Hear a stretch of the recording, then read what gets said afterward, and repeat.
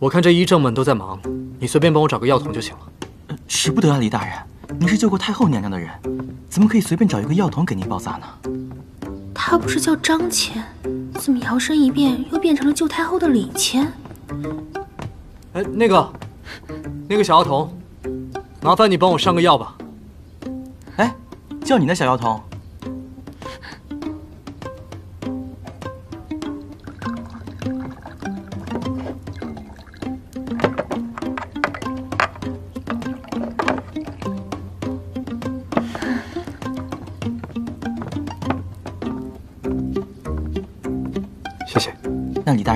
包扎，我还有些事情得去办。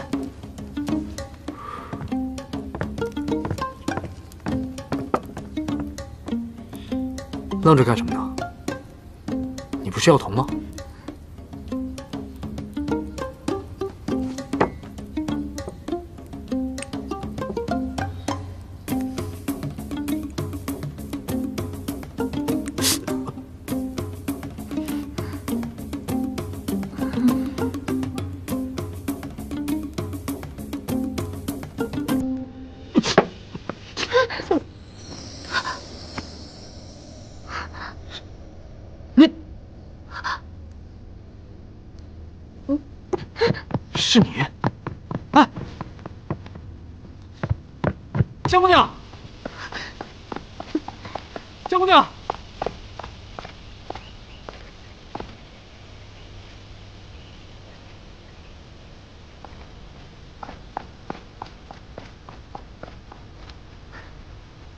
我可是轻车熟路。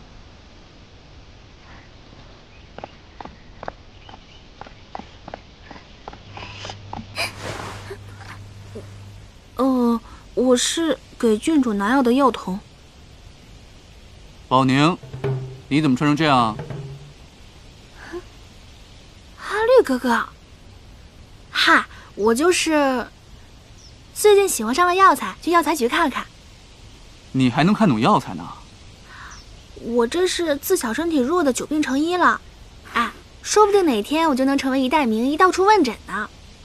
承宗你最爱吃的，今天刚好进宫，与陛下有要事相商，母亲让我带给你。大伯母倒是随时惦记着我呢。呃，我有件事情想要你帮忙，什么事啊？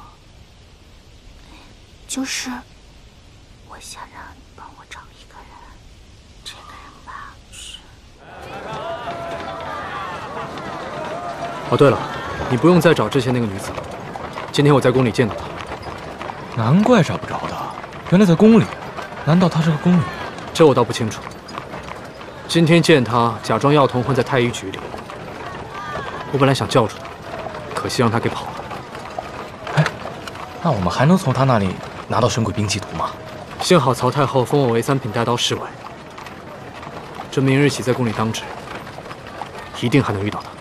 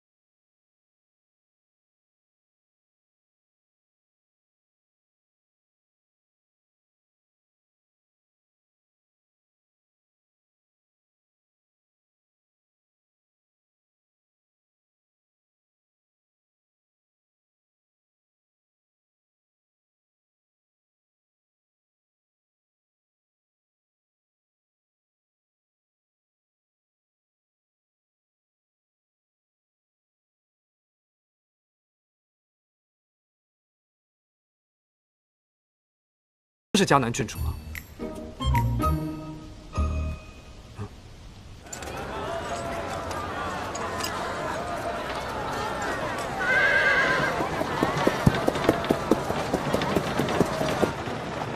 我实在没想到，她居然是迦南郡主。她是迦南郡主。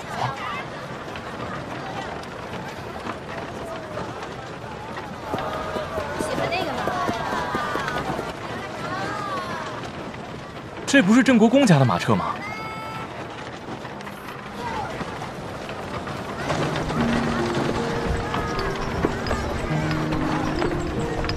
迦南郡主，调转车头，跟上那辆马车。是，撤，撤，撤。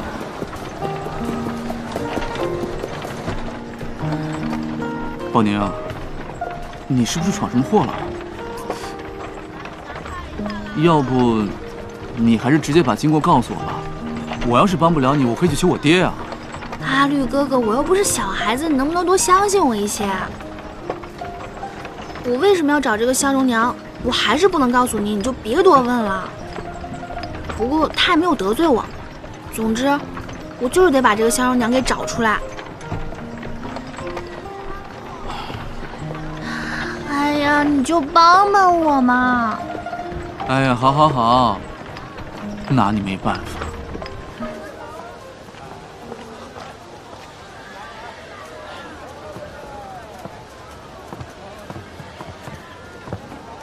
来，小心点。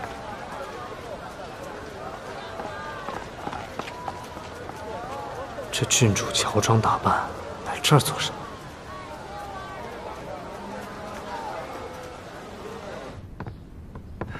哎呦，这郑国公府的世子爷能来我们这种小地方，真是荣幸啊！来人，上最好的龙井茶。是。哎，这茶我就不喝了。今日我来……啊，是吧？我这堂妹迦南郡主吧，前些日子不小心把太皇太后送的这个孔雀织金的斗篷给弄坏了，然后我就拿到宫里的真宫局去看，可惜啊，人家说补不好。世子大人，能否让我瞧一瞧？哎哎，哎呦，这可真是好东西啊！破了真是可惜啊。不过世子大人，咱们锦绣坊有一位名叫萧荣娘的绣娘，可是从福宁殿里出来的。萧荣娘果然在这里。去把萧荣娘叫来。是。世子大人，您稍等。公子，他们都进去这么久了，怎么还不出来？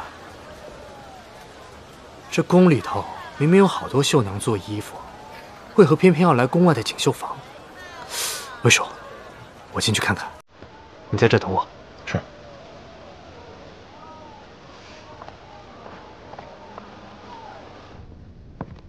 啊，这位是世子大人。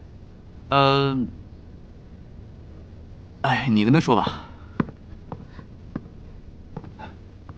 世子，请看这些。看这肚子，萧如娘必定是没有身孕的。您看这绣，那这保胎药就是给……都是出自萧荣娘之手。萧荣娘，你这离宫多久了？这离宫太久，也不知道手上的细活还能不能上手。我虽是半年前就离宫了，可是这福宁殿的小宫女，要是有什么做不好的活计，也会拿东西来找我织补。半年前，正好是药案记载开保胎药的时间，看来是有人借了香容娘的名开的这保胎药。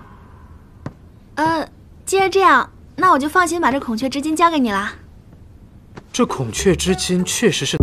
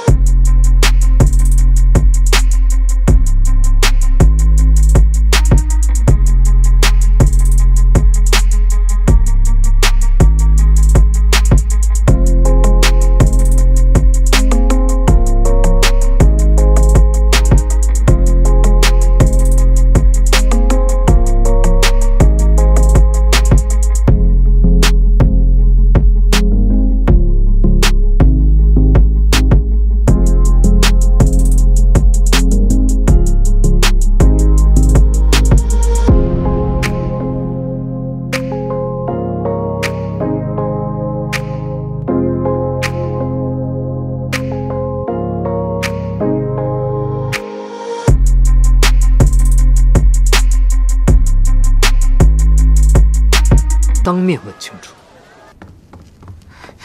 素素，宝宁，秦柯、问蝶，你们先下去吧，我与郡主有些话要说。是湘君。宝宁，你怎么这身打扮？你干什么去了？听说宫外有活动，我就偷偷溜出去玩了一下。你以前偷偷出去玩都会告诉我的，这次连我也瞒着。怪不得最近看你神神秘秘的。到底去干什么了？我能干什么呀？宝宁，你我八岁便相识，我们就如同一母同胞的两个姐妹。你这点小心思，我还看不出？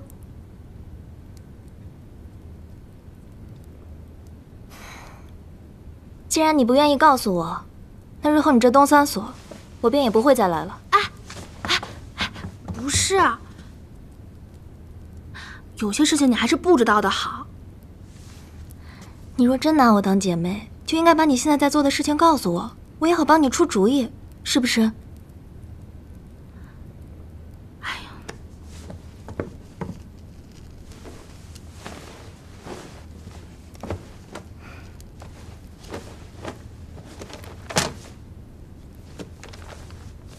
福宁殿要案，嗯，你怎么会有这个？我偷偷进太医局拓印的。之前赵毅不是说福宁殿死了个宫女叫方逸如吗？但是我前几日偷偷溜出宫的时候，我明明见到她了，我就觉得这件事情很蹊跷。然后呢，就去太医局找她的药案。哎，她的倒是没找到，找到那个叫什么萧荣娘的，她开过上好的保胎药。保胎药？嗯，我本就怀疑这保胎药到底是谁开的。当我见到这萧荣娘，发现她根本就没有怀孕，而且她半年前就离宫了。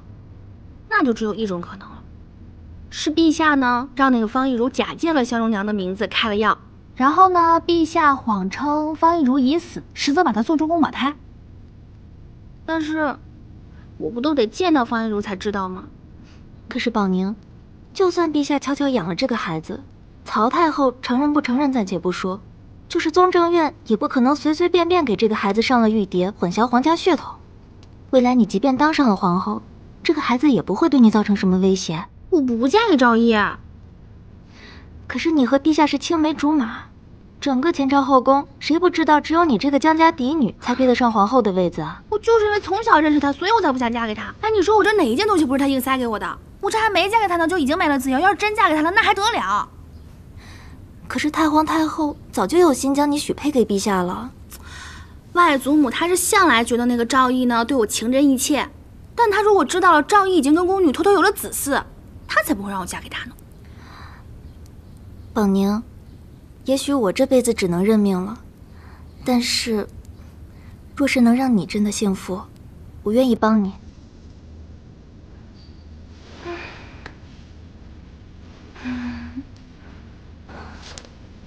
你太印的这个福宁殿的药案必须要烧掉，以免这个册子被其他人发现。嗯。内容你记在心里就行了。行。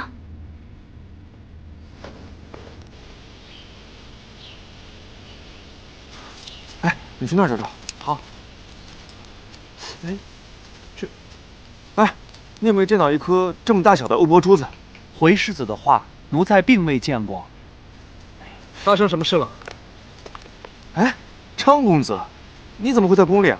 赵公子，你怎么会在宫里啊？哦，我父亲是南明总管靖海侯，此次受曹太后收宴之邀来到都城，本想今日去拜见一下太后娘娘，没想到竟弄丢一颗欧泊珠子。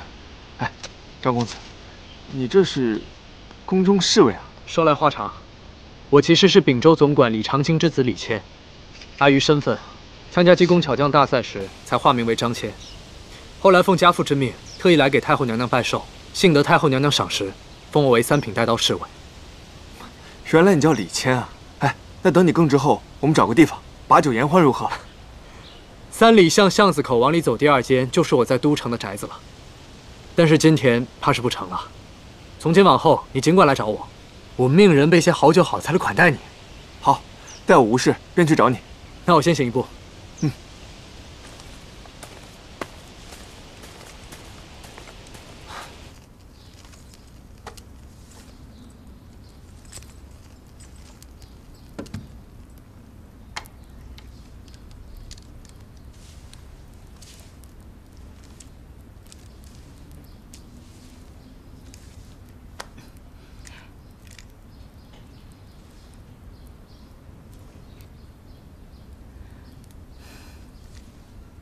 哀家是不是又有白头发了？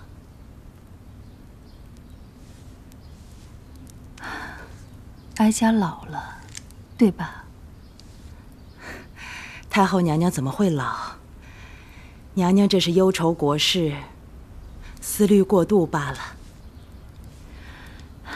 最近那些大臣们，总说今年浙西洪涝，蜀中大旱，那是上天的预警。都是因为皇帝既没有亲政，也无子嗣，皆因还没有挑起君主之责。这言下之意，不就是要让哀家还政吗？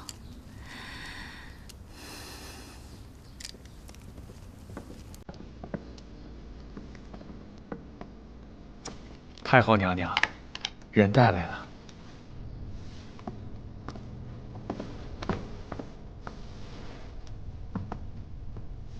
奴婢宋贤仪，请太后娘娘吉安。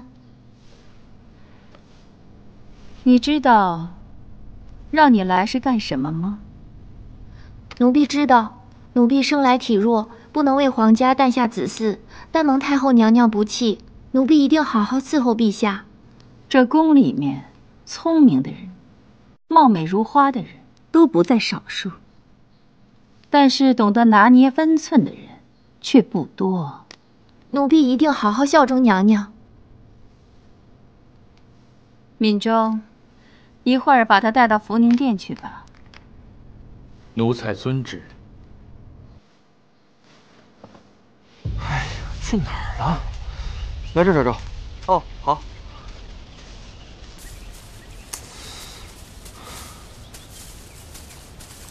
嘿，找什么呢？哎，世子。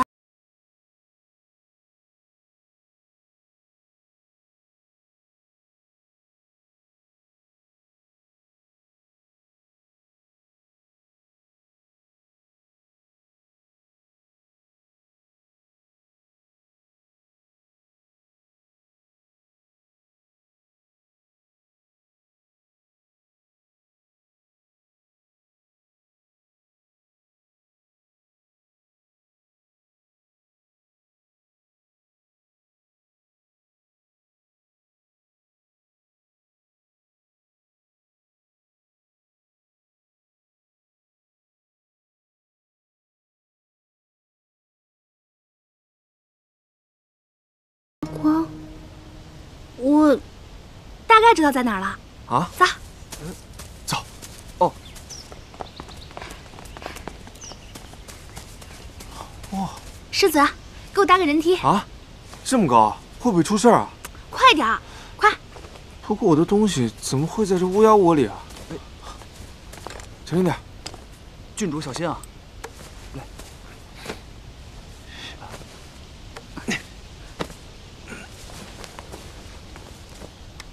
小心点！真的在上面吗？哎！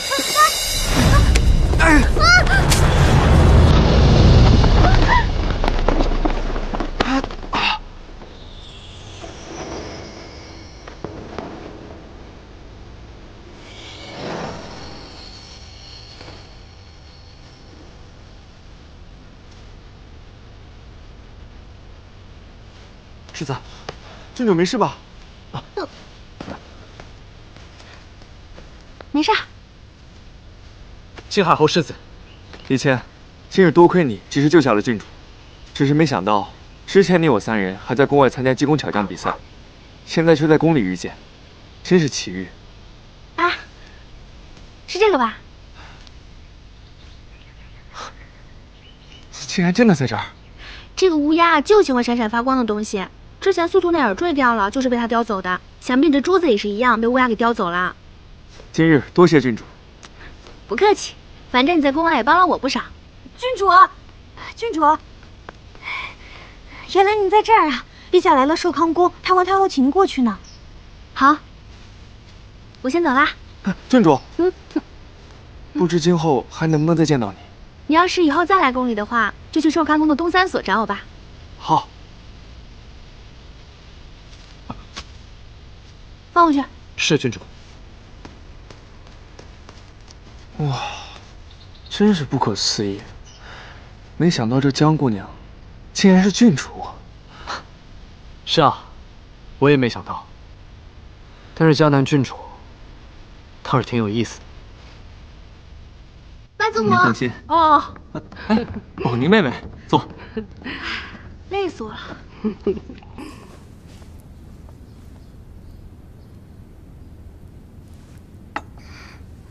外祖母宫里添新人了？哪里？这是太后给皇帝宫里添的新人。宋贤仪，你先出去候着，不想让你在这里碍眼。是，陛下。太后怎么突然插手福宁殿的事了？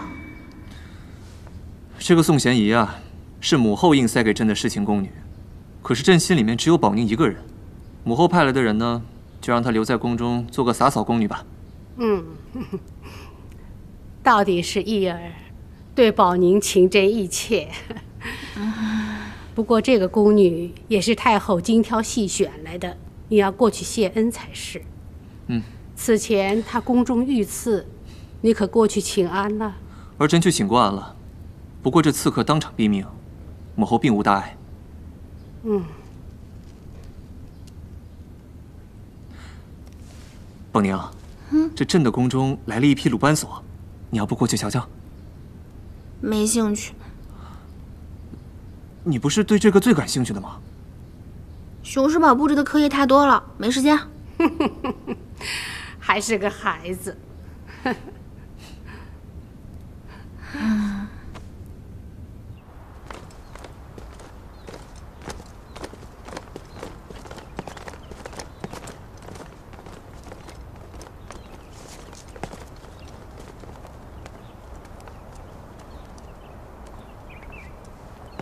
江南郡主，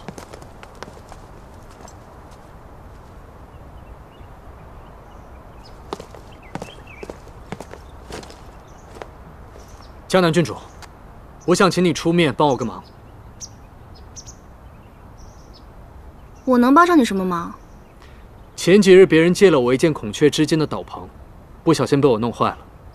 不知郡主是否知道这都城当中哪家刺绣坊能够帮忙缝补呢？这宫外的刺绣坊，我们又怎么会知道？平日宫中的衣服都是送到真宫局去缝补的，这个忙恐怕……啊，我知道有一家。斗篷带了吗？因为今日当值，并未带在身上。行吧，那就明日的未时，我让我身边的姑姑去你府上取一趟。多谢郡主，那明日我就在宫外青石巷。等这位姑姑了，宝宁，拜见陛下。起来吧。谢陛下。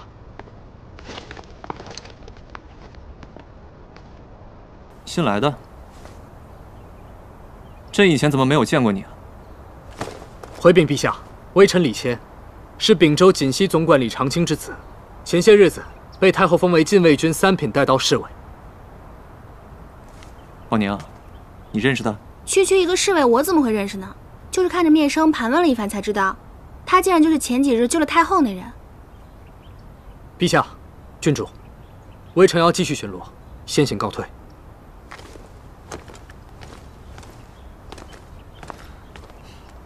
宝宁，朕在御花园里面准备了一些佳肴，特意邀请你一同享用。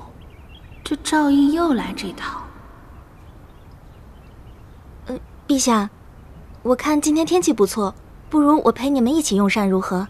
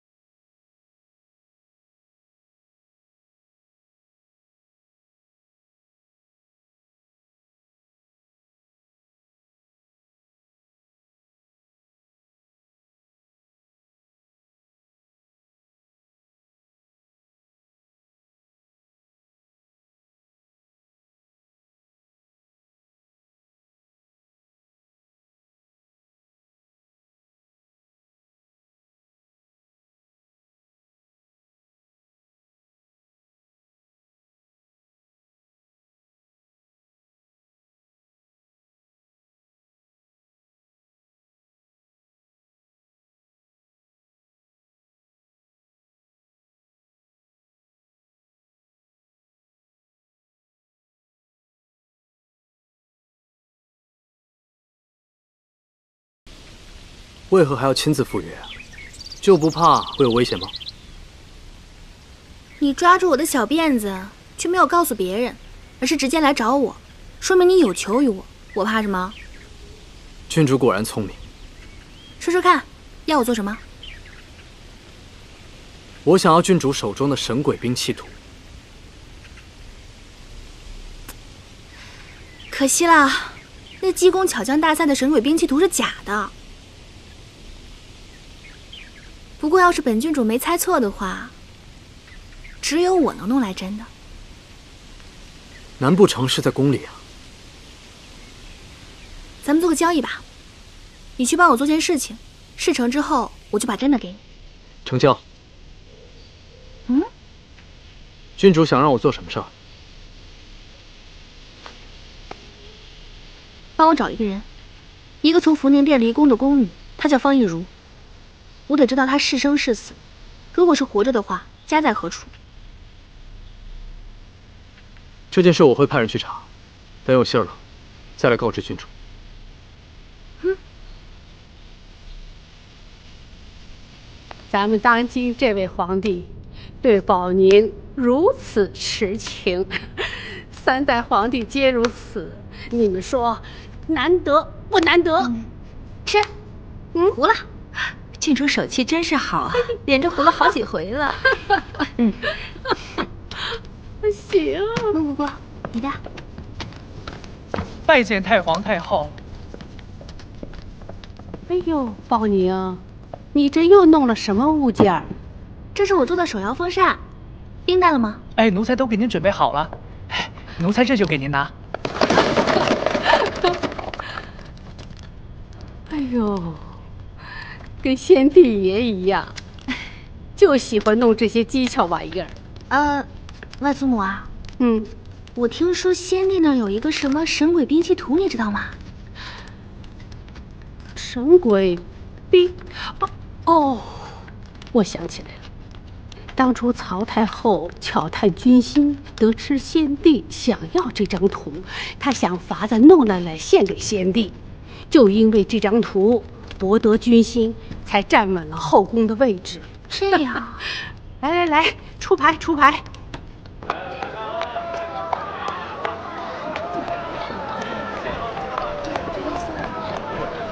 素素，你从小进宫就陪伴郡主，这转眼呀，你都已经十八了，也该出宫许人家了。这晋安侯世子蔡元，这人品和学识都是一等一的。要不让你父亲给你们安排见一次面？素素，我见不见又有什么重要的？女儿的婚事，你们做主就好。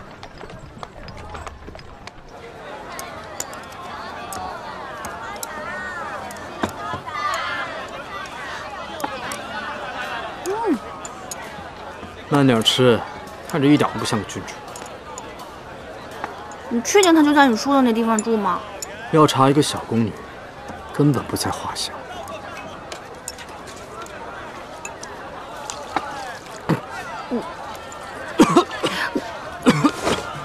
嗯，给你，给你。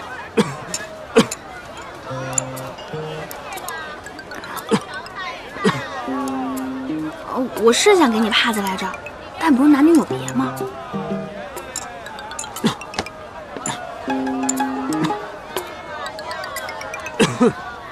公子，这位姑娘没什么听不得的，你坐下说吧。大公子，姑娘，宅子里住的那位呀，长得白白净净的，已经显了怀了，看上去大约有五六个月的样子。已经显怀了？她一个人住那吗？还有两个小丫头，四个护院。那四个护院。时刻盯着宅子的各处墙和院子，生怕有人潜入。那我得亲眼去看看。怎么样啊？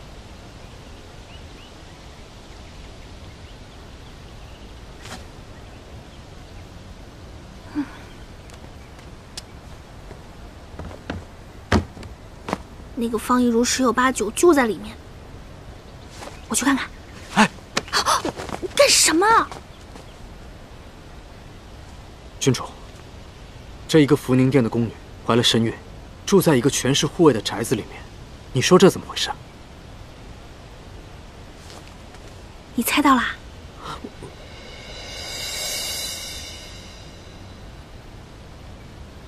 这是陛下在外面偷偷养的孩子，你查陛下的事干什么？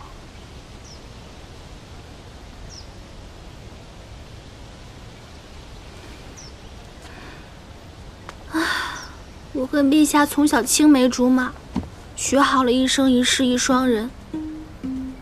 外祖母前两天才许了我们俩的婚事，就差太后下懿旨了。那如今就发现他跟宫女有了子嗣，我要不亲眼去看看，怎么能够认命呢？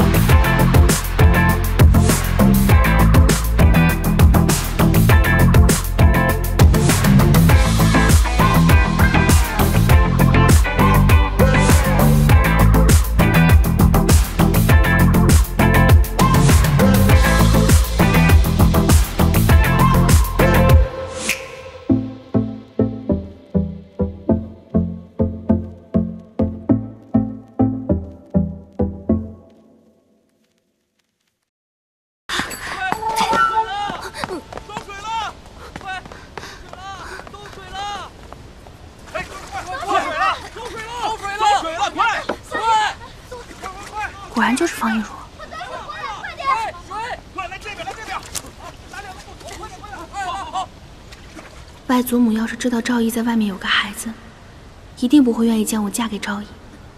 可我又不能贸然将这个事情告诉外祖母。郡主，郡主，你刚刚这么做，是不是太鲁莽了？那不挺管用的吗？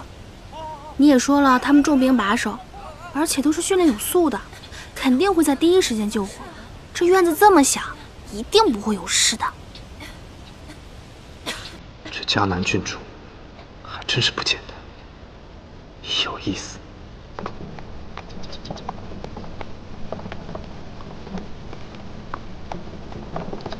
公子，到了。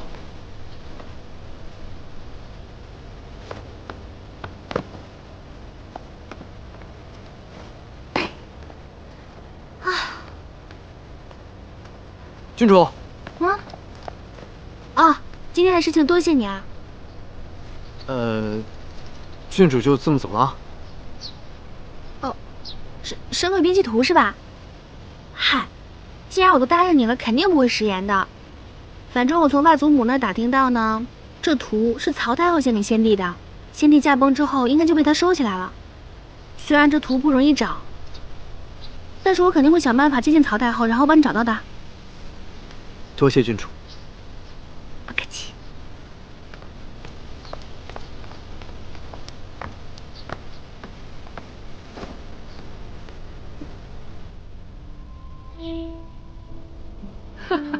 祖母说的是。外祖母，宝娘，这么急着找我有什么事啊？自然是好事，稍后便知。哦。儿臣拜见母后。坐下吧。谢母后。拜见太后。拜见母后。哀家今日过来是要与你商讨义儿的婚事。啊，原来是这样。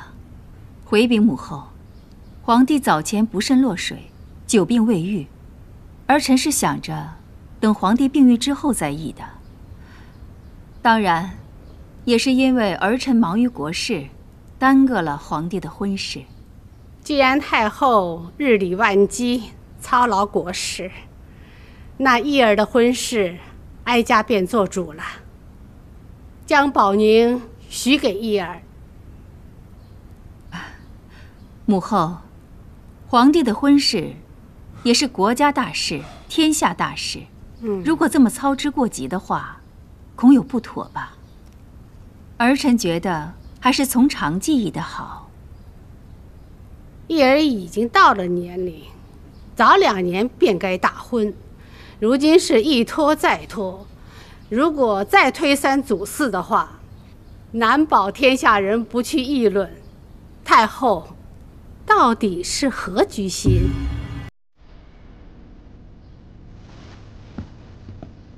母后言重了，莫误会儿臣。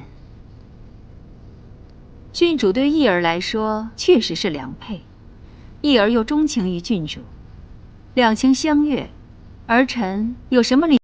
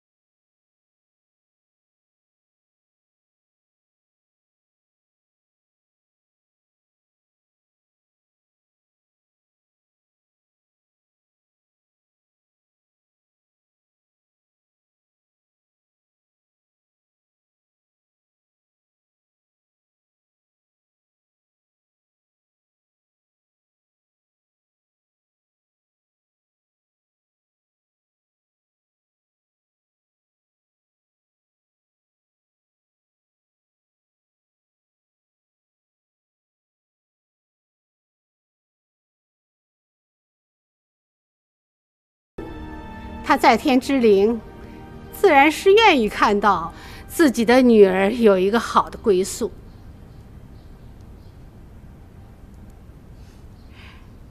母后所言极是。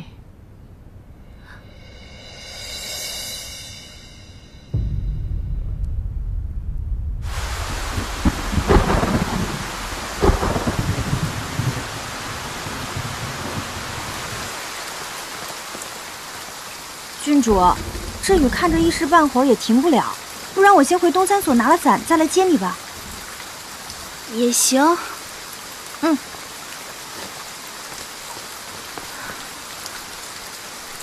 嗯。虽说是立了婚约，但也没这么着急吧？一定是赵毅从中搞的鬼。唉，现在连太后都同意了，这可怎么办呢？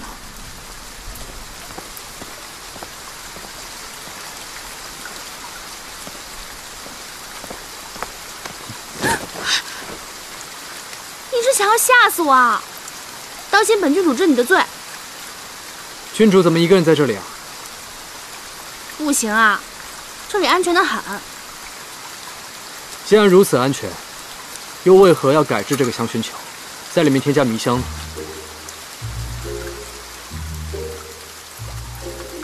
还不是为了防宫外面的小人啊！还给我。那得看郡主的本事了。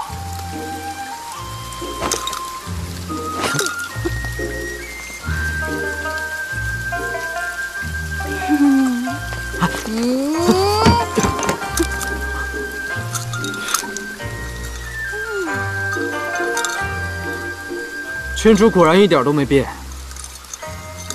还给我加了伸缩链和尖刺呢。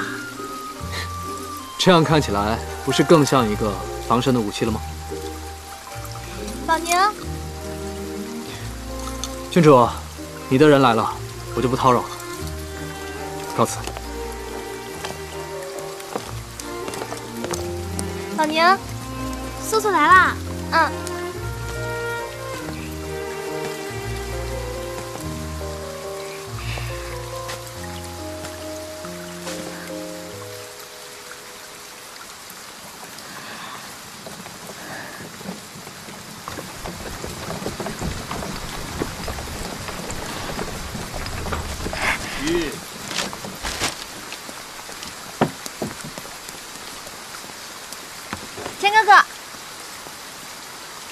妙容，你怎么来都城了？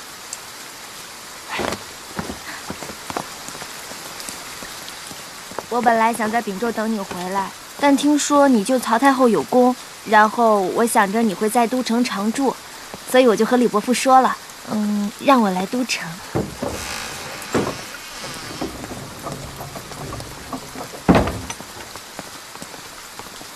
公子、高姑娘，我按您的吩咐，把这宅子里的房间啊，都用艾叶熏过了。好，好，好，知道了。啊，钱哥哥，这宅子虽然是好宅子，但毕竟这么久没人住了，潮气重得很。我叫人啊，用艾叶熏了熏，去去潮气。我也知道你们在都城公务繁忙，所以没有时间打理这些。还是你想的周到，那就辛苦你了。不辛苦，不辛苦。哦，对了，我还煮了温补的莲子汤呢，我这就叫人去盛两碗，给你们补补身子。嗯。公子，高姑娘真贴心。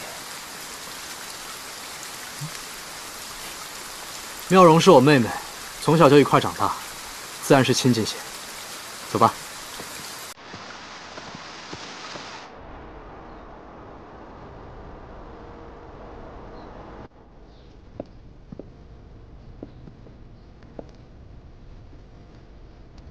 参见太后。仙儿给太后娘娘请安。啊，起来吧。谢娘娘。县主可喜欢这宫里？喜欢，这宫里的一切，仙儿都喜欢。那倘若让你长期留在宫中，常伴皇帝和哀家的身边，你可愿意啊？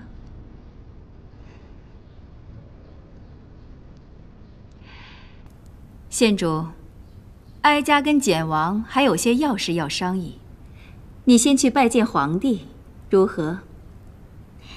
是娘娘。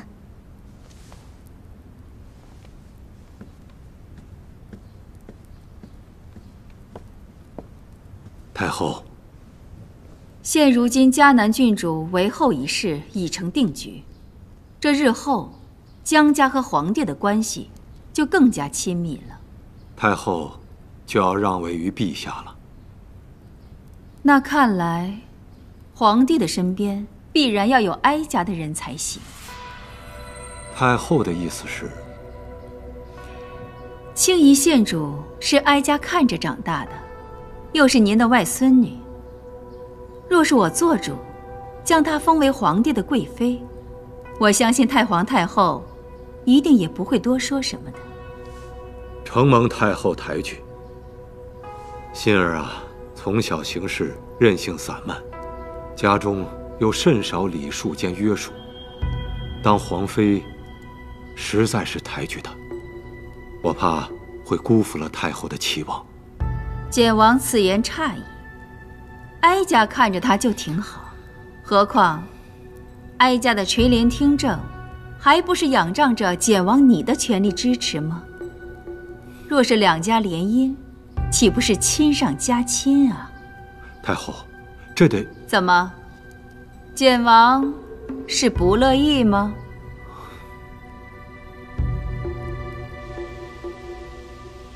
皇上，如今咱们穆安国为了增加耕地面积，大兴水利，大面积的开荒，像梯田、于田、沙田、下田，到现在为止。咱们穆安国总耕地面积为三百一十二万五千两百余顷。嗯，一哥哥的勤政殿可是从这儿走啊？奴婢都打听过了，就在前面。你快帮我看看，我还有哪儿需要整理的？都好着呢，我的青衣县主，陛下看了肯定喜欢。走吧。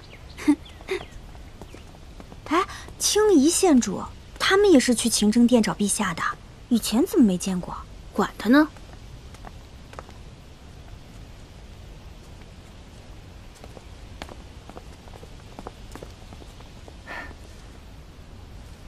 你去通报一下，我要见陛下。您是？我是青夷县主，简王的外孙女，陛下的表妹。县主，陛下正在忙呢，您不方便进去。这正事都是太后娘娘在管，陛下有什么可忙的？青衣县主，这可是勤政殿，你可不能胡闹。你一个阉人也敢对我大呼小叫的？青衣县主，陛下这会儿真的在忙，您真的不方便进去。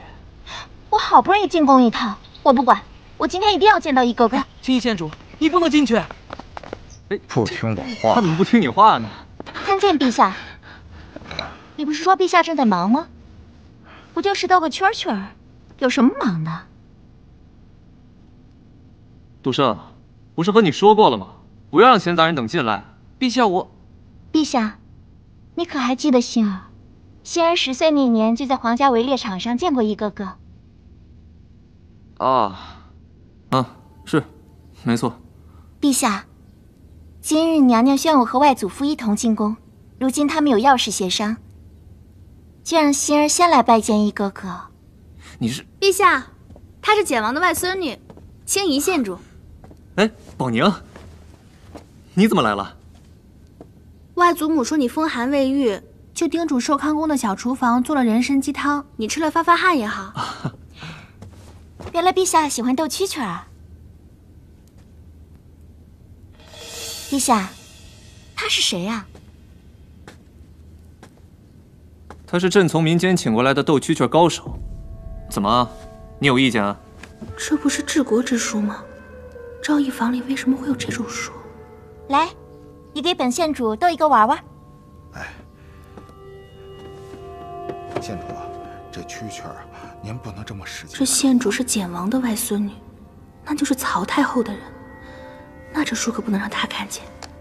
她还真是凭实力不受人待见。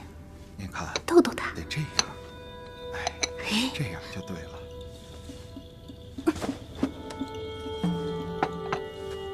哎，青夷县主，你那肩膀上该不会爬了只蛐蛐吧？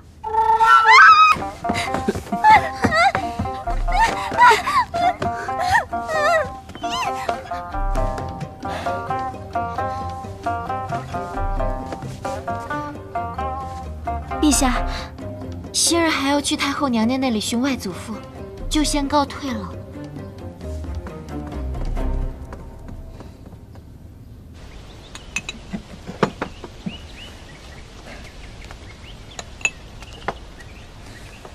宝宁，你不生朕逼你嫁给朕的妻了？我知道，我终归得是嫁给你的。只不过是以前没有下定决心，我没有做好准备，未来跟无数个女人分享一位夫君。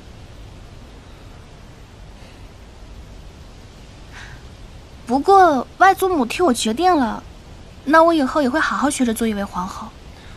宝娘，没有人比你更适合做朕的皇后了。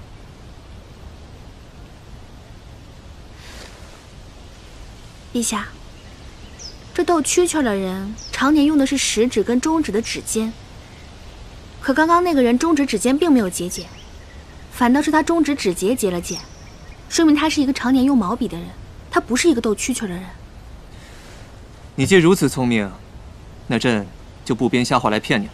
他是前朝军机处大臣严华年，自从太后垂帘听政，他一怒之下便辞了官，是朕特地从宫外把他请回来辅助朕。你这么轻易的告诉我，该不会是我大伯父派来的吧？所以告诉你也无妨。这太后啊，对朕是处处限制，就连教导朕的大学士，也是只教朕表面功夫。他只让朕知其然，却不知其所以然。还好，有严华年偷偷指导朕。那既然是大伯父派来的人，你可得好好细心学习才是。全听宝宁妹妹的。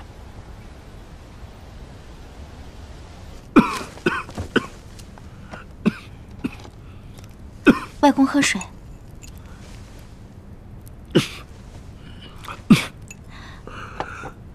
外公，您这病过期了，不妨事。心儿啊，你父母去的早，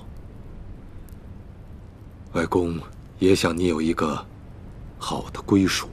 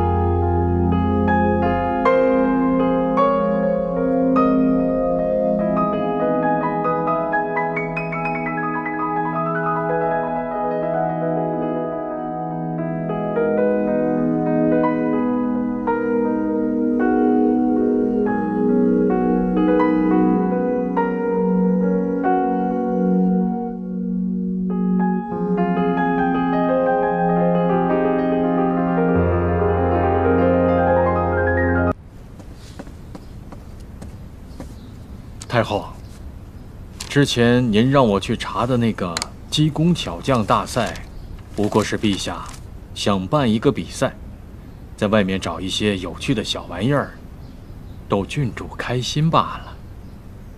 这陛下呀，年纪也不小了，怎么净做这些荒谬之事？太后，还有一事。说吧。最近陛下。迷上了斗蛐蛐了，还让杜胜到宫外去找了一个斗蛐蛐的人呢。既然是宫外的人，你还是要给哀家查清楚，到底这个人干不干净。是太后，奴才这就去办。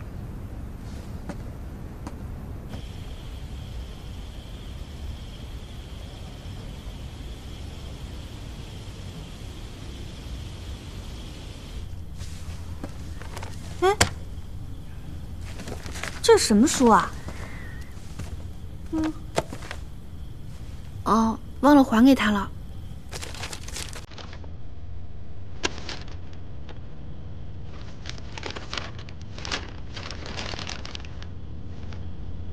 这水鸟剑的其中几个步骤，竟然和机工巧匠大赛的最后两个关卡一样。原来，这一般机工巧匠大赛，并不是为了给我寻些什么有趣的小玩意儿。而是想要通过比赛完成水鸟剑的制作。你把这给陛下送过去。哎，装饰盒里偷偷的。是。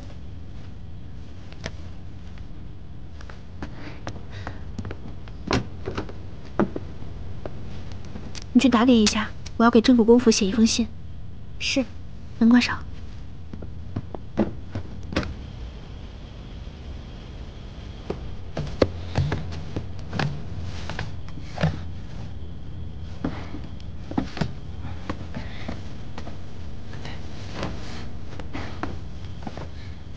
这东西可千万不能让我们后看见。这奴才今日就没让旁人进来过。在完成那件事之前，千万不能出任何岔子。继续给我找。禀陛下，郡主宫里的秦客求见。去去去。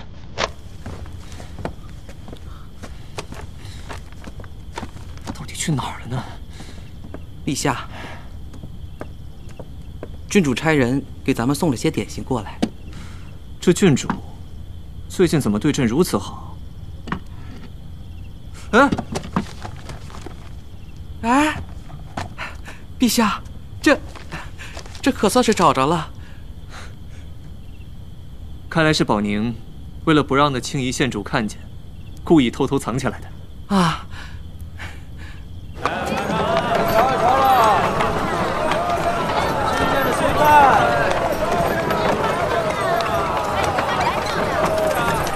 宁儿，你信中如此着急，让我接你回郑国公府，是什么要紧的事儿吗？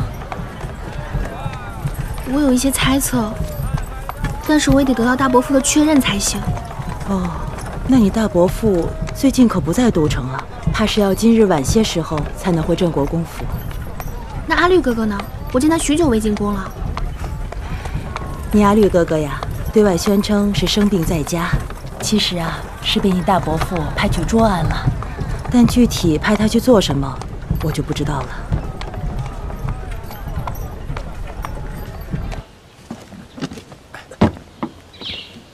小心点儿！这么多东西啊！魏叔，哎，这都什么呀？这都是老爷给太后的寿礼。对了，公子，我去秉州城接老爷送的寿礼时，发现了镇国公世子。穿了一身便服，带着一小队兵马出了城。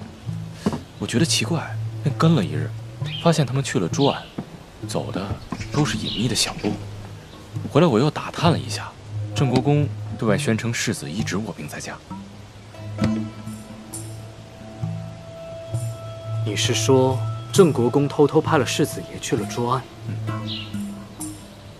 这朱安可是离万寿山最近的一级卫所，太后的寿宴也办在了万寿山。但郑国公可是陛下的人，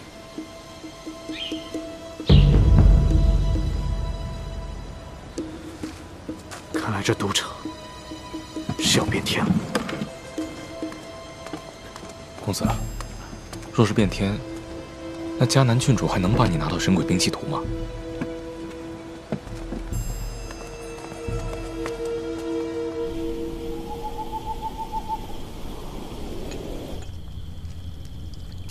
老爷回来了。哎呀，宝宁，你来了。大伯父，这茶呀，喝了一杯又一杯，你大伯父终于回来了。宝宁，你在宫中今日可好啊？今日如此着急来找我，是不是遇到什么麻烦了？大伯父，您和陛下是不是准备在万寿山寿宴的时候，让太后还政给陛下？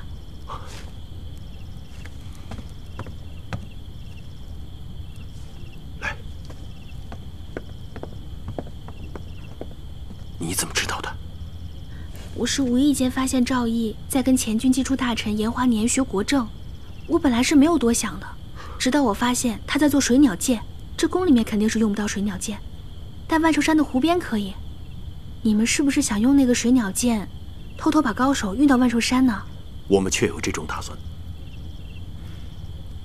我算是明白了，那个赵毅呢，不惜用苦肉计博得外祖母的同情，让曹太后允了我们的婚事。这么急着娶我，不就是觉得需要江家帮他稳住没有曹太后的朝堂吗？我呢，不过就是为了帮他稳住人心的罢了。那你呢，宝宁？你可想嫁给陛下？我自然是不想的。当然了，我也不想江家有事。大伯父，您可以帮赵毅亲政，但是为了宫里的和平跟安稳，也不能彻底让曹太后失了势。江家命门落在曹家或是皇上手上，江家都会有危险。这事说起来容易，但做起来委实太难了。我查实了赵毅跟一个宫女有了孩子，养在宫外的胡同里。只要那孩子到了曹太后手里，赵毅肯定会投鼠忌器的。确有此事。嗯，宝宁，当务之急，要想办法保住这个宫女。赵姨派高手护着呢。那，宝宁，你一直在宫中，你怎么查到陛下跟宫女的事情了？我就是机缘巧合认识了那个秉州总管之子李谦，我是答应帮他找宫里一样东西，他才愿意帮我的。此人可靠吗？反正他也知道陛下这件事情脱不了干系。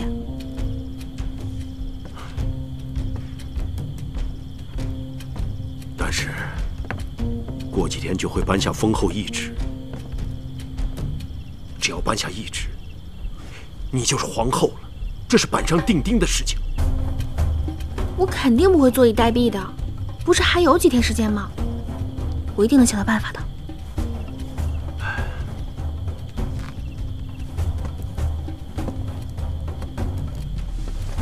你是一个养在深宫中的郡主，本应该不问世事的。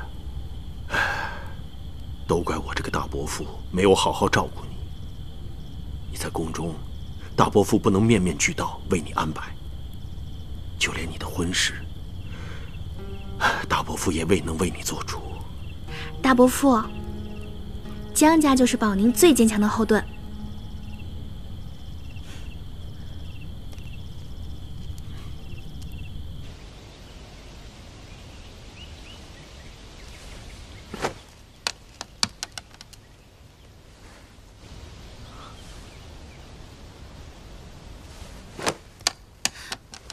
不是谁呀？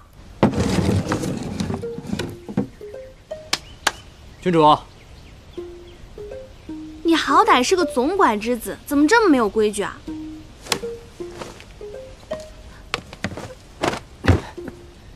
哎哎，你你，你要是敢，怎么样？我我郡主，你该不会以为我对你图谋不轨吧？这里可是皇宫，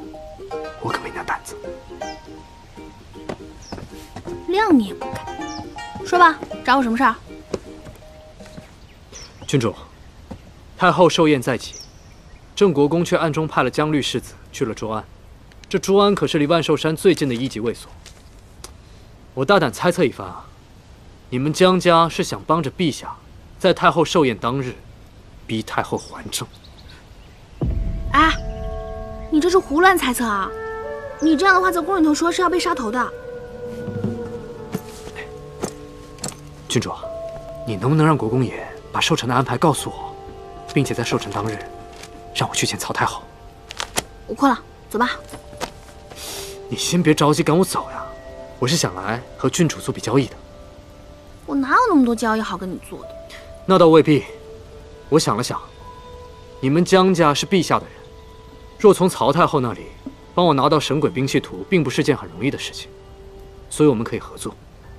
让我成为曹太后的人，这样我拿到神鬼兵器图就容易的多了。哦，那你想怎么做呢？太后还政当日，由我出面守护太后；太后寿辰的时候，由我们李家出面保下太后。这样你们江家也不用担下忤逆太后的骂名，你觉得如何？这件事情关乎江家的生死，我怎么相信你？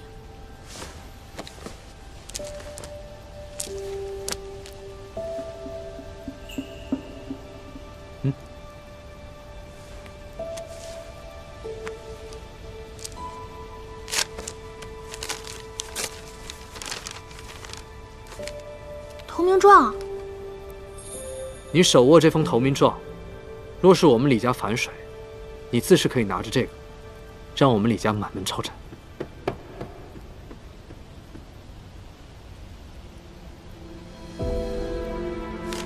你要想知道万寿山寿宴的具体安排，拿着这个玉佩去找我的大伯父江振元吧。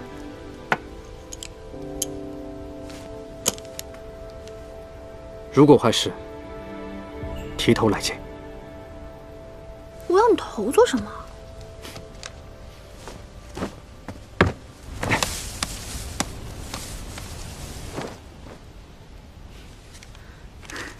下棋果然还是得找旗鼓相当的棋手才是。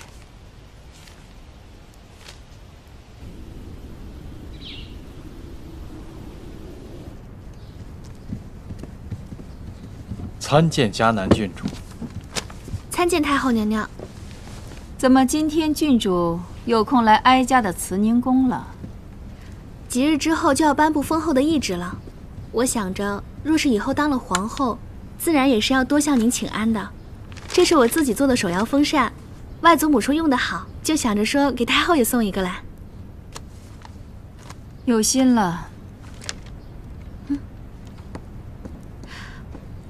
外祖母说，先帝也很喜欢这些精巧的东西。娘娘之前还给先帝找了一个什么神鬼兵器图，听说那图册娘娘收着呢。那是造兵器用的。难道郡主对这个也感兴趣吗？这风扇我就收下了，哀家还有好多的奏折要批阅，就不留郡主了。敏州。好生的送郡主出去。是。郡主请。看来也只能按他的计划来了，只是这样凶多吉少。李谦，你要小心啊。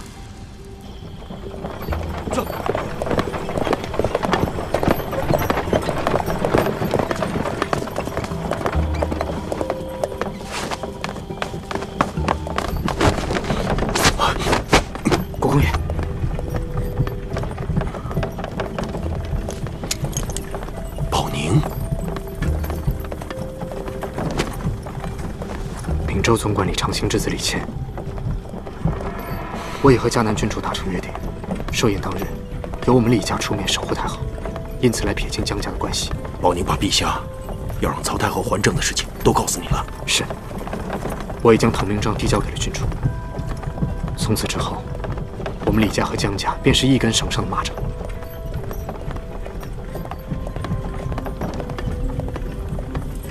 我相信保宁。你打算怎么做？我不仅要知道寿宴当日的安排，还劳烦郑国公设法将我和我的属下调去万寿山当侍卫。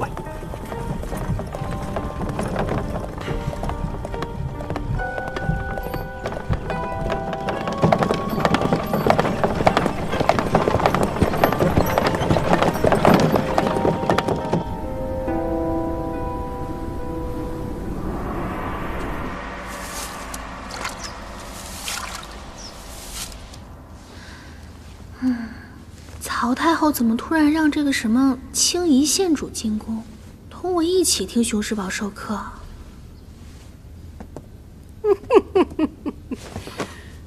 小赖猴，还不起床啊？去学堂都快迟到了，快起来！哎呀，我不起。太皇太后，清夷县主送来了拜礼。啊。这是玉泥坊净颜泥。这个县主怎么突然讨好起外祖母了？之前也一直缠着赵毅，难不成他想嫁给赵毅？来的正好，那必须得成全你。快起来！啊，好吧，那我去学堂了，外祖母。嗯。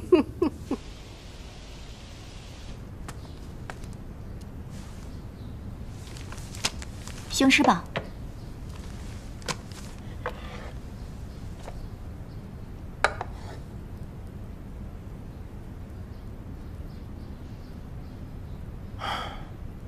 县主，这可是上好的梅花坑端砚，礼物贵重，恕我不能接受。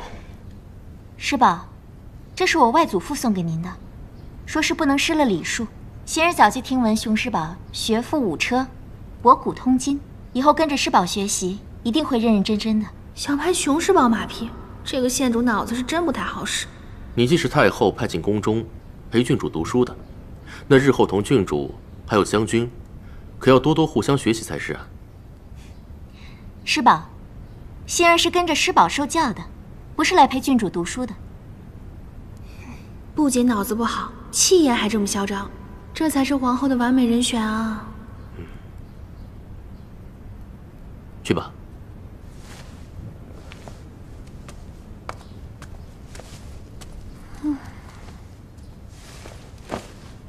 来。呃，我们开始上课。今日我们的讲学内容便是这枚铜镜。是吧？这个铜镜我知道，这是瑞兽铭文铜镜，铭文和纹饰的纹理品相都极好，镂铜处的黑褐色包浆，熟润有光泽。其实，我是想以此镜作比，好让你们谈一谈为人之道。铜镜和做人有什么关系啊？郡主，你可有什么见解？嗯，人以铜为镜，可以正衣冠；以史为镜，可以知兴替；以人为镜，便可知得失。那这说到底，还不就是面镜子吗？才不是这样呢！以人为镜呢，可以听从别人的建议跟教诲，从而知道自己很多优点跟缺点，才能做最好的自己。哈！啊，郡主说的没错。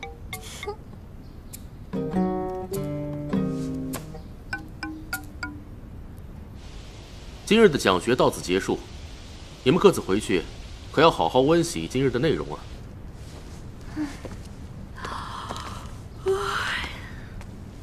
江南郡主，欣然想向你学习一下，你是怎么以人为镜的？嗯，嗯，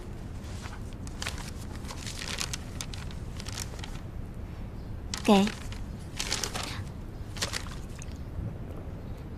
哎呀，仙人一时手滑，不小心把这个弄脏了。郡主不会怪我吧？嗯，郡主。这个宣纸看似实在普通，回头进宫的时候，仙儿给你带几张锦线的宣纸。那个宣纸青似蝉翼，薄如雪，宫里怕是没有这样好的宣纸。没关系，几张宣纸而已。仙儿还要去给太后娘娘请安，那仙儿就先告退了。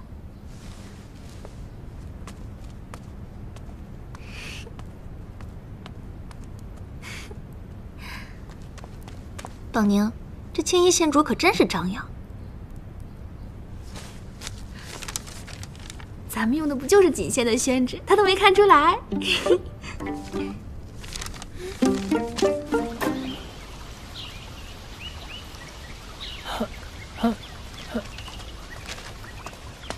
小马放手。好。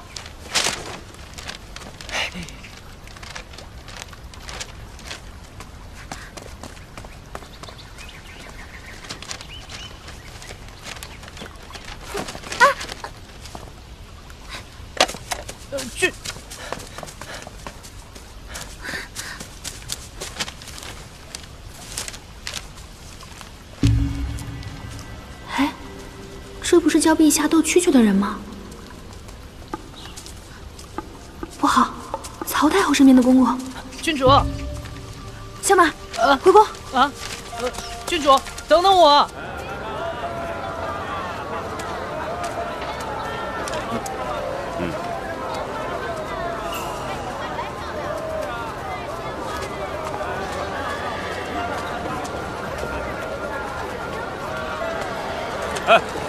哪个宫的？你的牌子呢？这是慈宁宫的宫女，太后差我带这个宫女出去采买些东西。哦，原来是李大人。愣着干嘛呢？还不走？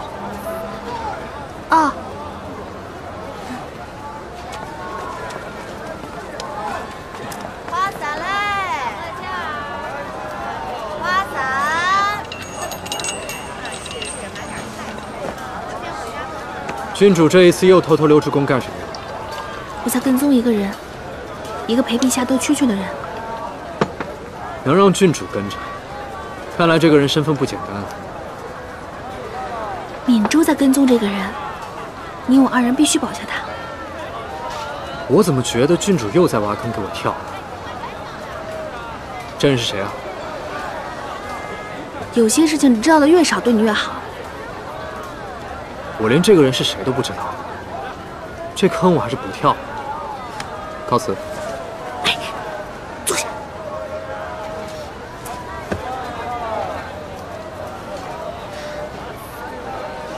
那个人是前军机处的大臣严华年，他借用陪陛下度蛐蛐的身份进宫，实则是教陛下学习国政。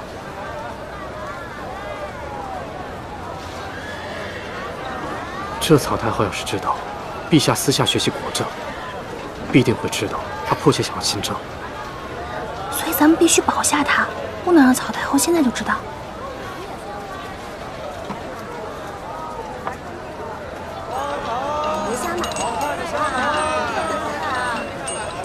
他们该不会已经出宫了吧？不可能！我是在御花园看到他们的。如果他们出来，肯定得从神武门的甬道出来。我是从寿康宫的小道出来的，一定比他们快。姑娘，看看这个呀，我们往前面去看看，这花样呀，特别好。这。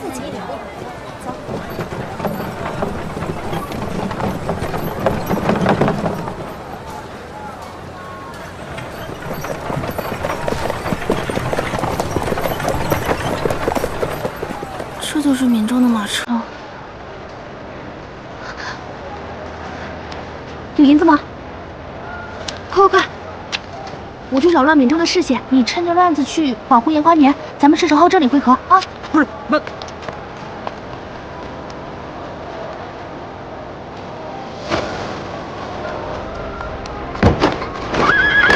谁的马？啊，我的。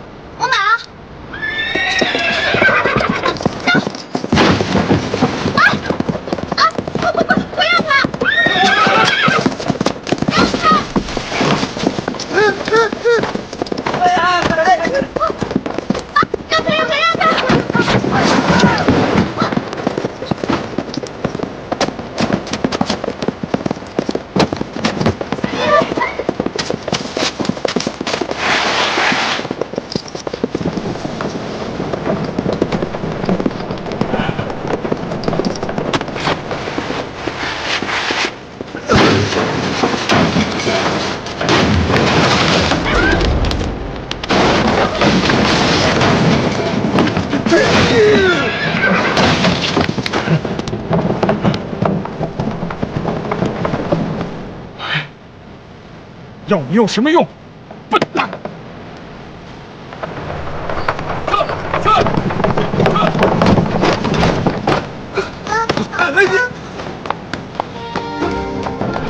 这这。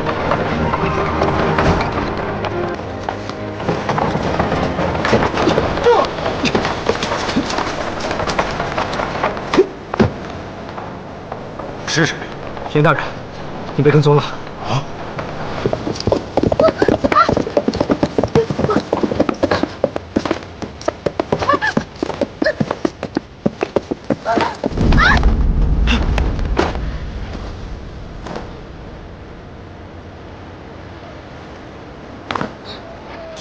郡主，怎么是你啊？你的手腕怎么受伤了？哦，应该是刚刚在马上给扭伤了。谢谢你啊，不然我小命就没了。哎，对了，郡主怎么会这副打扮出宫啊？听说今天有那什么舞狮会嘛，就想着偷偷溜出来看看。行了，那什么，我的侍女应该在找我了，我就先走了啊，先走了。哎，郡主，我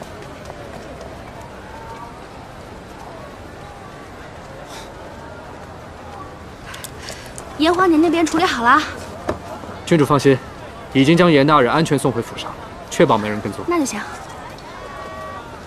郡主一切可还顺利啊？平时觉得骑马应该挺简单的，没想到自己骑上这么难。哦，郡主原来不会骑马。嗯，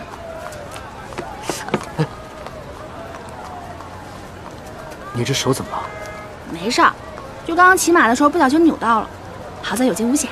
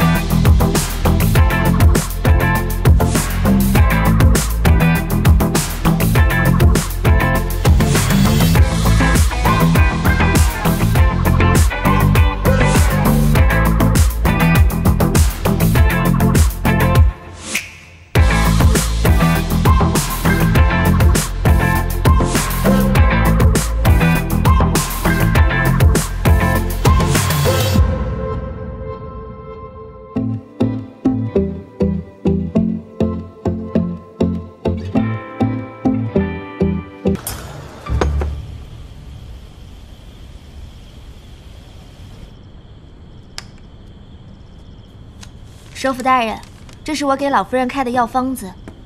嗯，只要能按时服用，老夫人的病就能得到缓解。好，太感谢你了，高姑娘。汪大人，你是，你是，哦，你是从刺客手中救下太后的李谦。正是在下。不过汪大人怎么在这里呢？啊，听闻高姑娘医术精明，知道她来了都城，我就带着久病未愈的老母亲前来就诊。今日一见高姑娘，确实医术精良，誉满杏林呐。首府大人过誉了，我只不过是尽了医者的本分而已。那今后还得多麻烦高姑娘。呃，那我就不打扰二位了，我带着老母亲还得回家休息。行，我送送二位。好。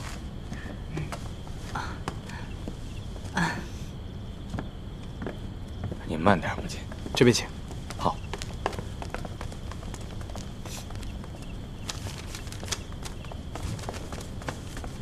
妙容，我有位友人骑马扭伤了，不知你能不能配置一点对症的药膏？好啊，哪儿扭伤了？这儿。哦，好，我知道了。等我配好了，我就给谦哥哥送过去。多谢。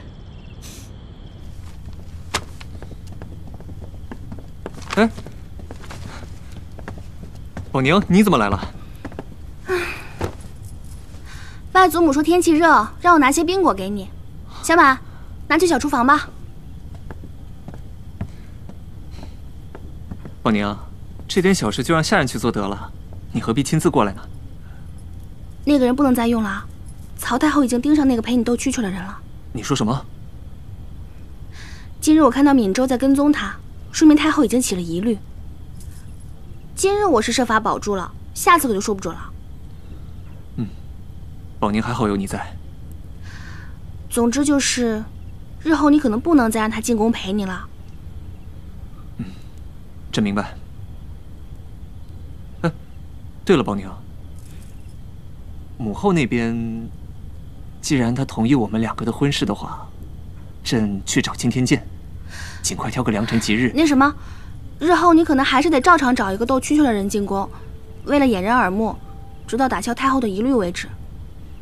行，你是最聪明的，都听你的。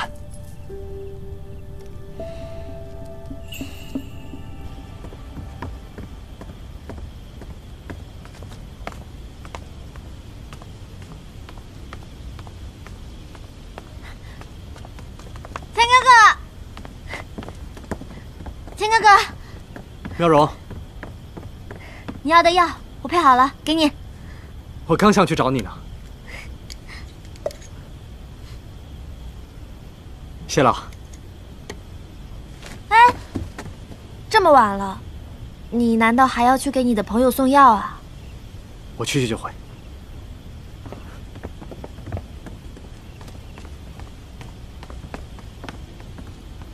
魏叔，高姑娘。千哥哥说他要去给他一个什么朋友送药，我问你，他在都城有什么朋友？咱们在都城中还能认识谁啊？可能是宫中当值新认识的吧。哦，那就好，那就好。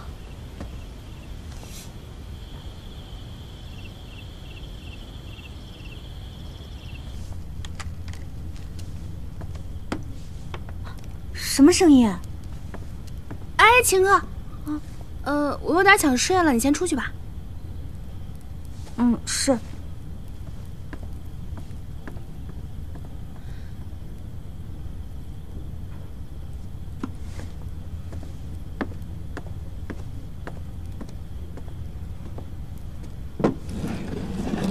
李谦，郡主怎么知道是我呀？寿康宫是什么地方？除了你，谁会这么没规矩啊？哎，你大晚上的你来做什么？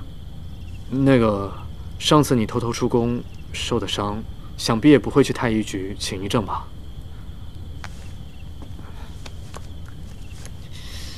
这个是专治扭伤的药膏，你要不回头试试吧？参见太皇太后。